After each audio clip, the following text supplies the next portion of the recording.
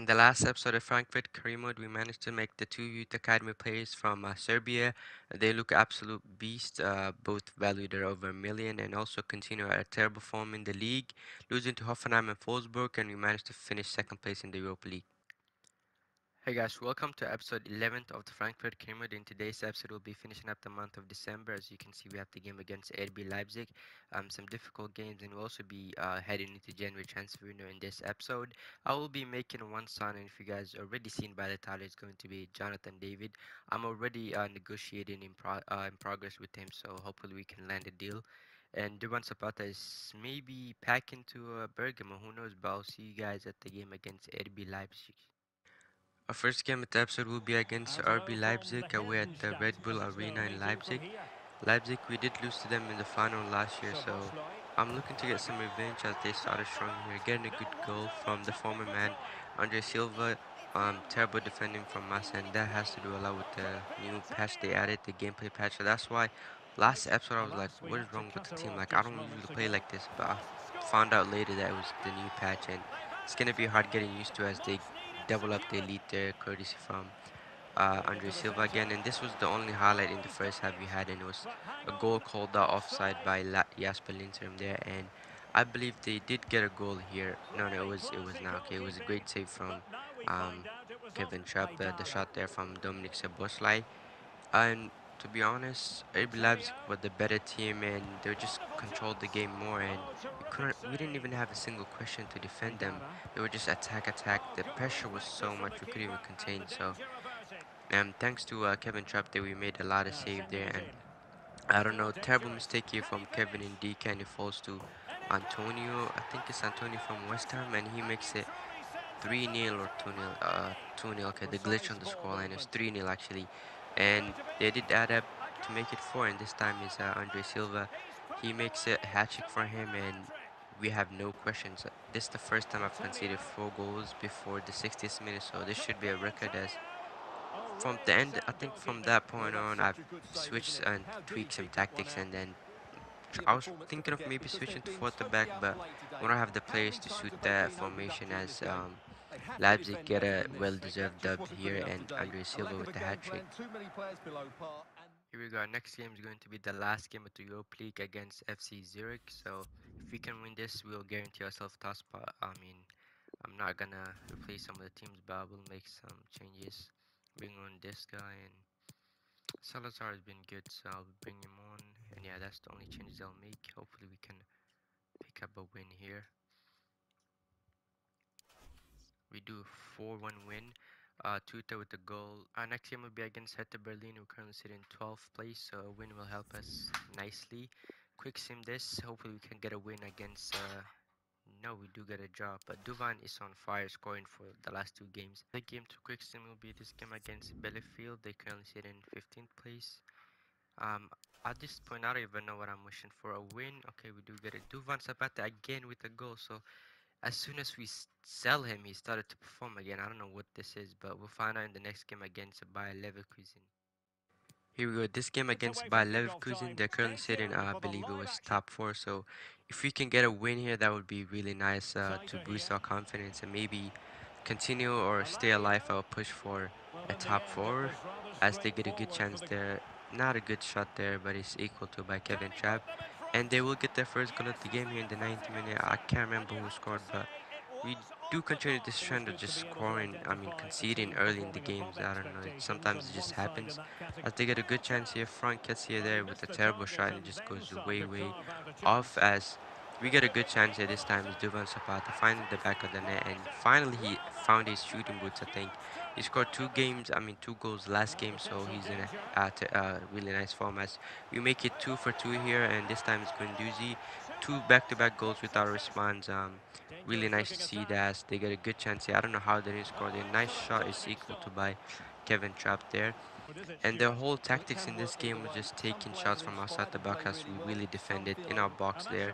And Kevin Trapp making an unbelievable save from top draw there as this goal, uh, the ball goes up for a corner there. And we did get a good, good chance here. Um, I don't know how Alex didn't score from that close, but great save from the former Eintracht Manning uh, had a Deki the finish. I don't know if I said his name had a Deshi or a Deki, but that's besides the point as they get a good chance here as um, Leverkusen playing outside the box, taking shots. This whole that was the whole game, taking shots outside the box. But we do pick up a 2-1 win. Vamos! Crucial, so give him five years. Hopefully, yep, and he's ready. Uh, disregard release clause, wage will give him. We'll give him 79. How about that? Take it. Uh, and a new sign is going to be Jonathan David for 35 million plus Duvan Zapata. Here's a visual confirmation. Uh, Jonathan David, welcome to um, Eintracht Frankfurt. I was about to say welcome to Real Valladolid. I don't know why I said that, but Jonathan David, welcome to.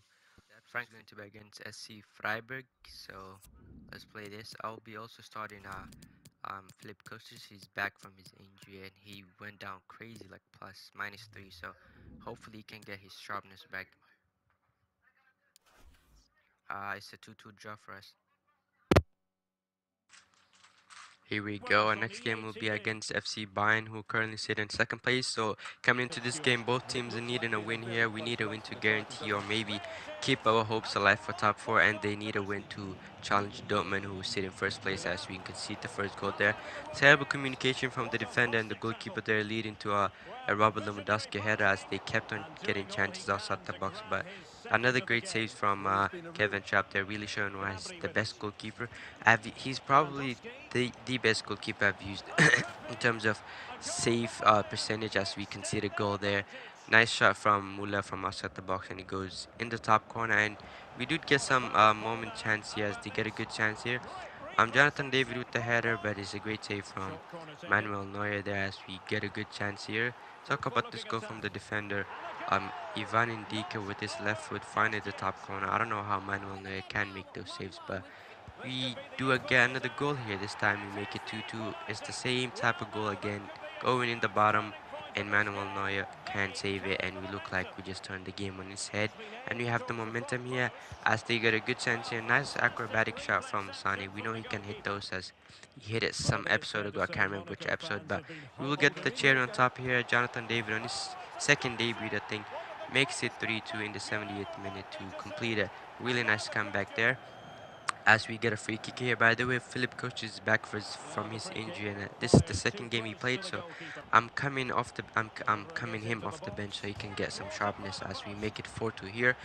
The rebound falls to Moustapha Moukoko, and he makes it 3-2 in the 85th minute, and we look like we'll be picking up a great milestone win. And I, I did forget we did get a good chance in the 90th minute as well.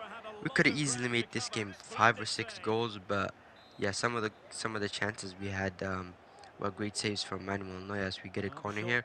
Passing it to Filip Kostic. Um, happy to have him back, but he went down plus three, I think minus three. I think I showed you guys, but yeah, they, I think it's fairly realistic, but we do pick up a milestone win against Bayern. Another back-to-back -back game against FC Bayern, this time at home in the quarterfinals of the German Cup. So I'm hoping to win it again. It would be nice to win the trophy back-to-back, -back, but I'm not really put emphasis on this, so I'm just focusing on the Europa League this season as we concede the first goal there. Martin Martin Martin Gorex, I don't know how to say his name, but he makes it 1-0 as they get a good chance here. Nice shot from Sane, but saved by Kevin Trapp there.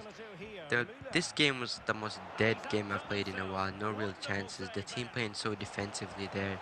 And the chances we got were far and few between us. We get a good chance in the 65th minute. Nice shot from Youssoufa Moukoko, but a great save from Manuel Neuer. We get a good chance. I mean, they get a good chance here. And luckily it's a goal. So it, it was coming, but we are knocked out of the German Cup. But it doesn't really matter, to be honest. For us, Jeremiah St. Juste, I've swapped uh, who was 20 million plus 6 million, I think. So yeah, welcome to the club, uh, the fastest center back in FIFA history. St. Juste for this January transfer window. Timo Werner was actually a player I was considering. He moved to uh, Atletico Madrid for 103 million. Um, who else here? Paulinho to Spurs. Uh, Patrick Schick to Chelsea for 69 million. Noon Mensch to Napoli. Some good transfers going on. Uh, poor Van de Beek is off to Leicester City. Hopefully he can get some minutes. But here's how the team is looking like at the moment. As you can see, I'm I'm already liking uh, Jonathan David after the episode he had and Jose Mawar really coming nice.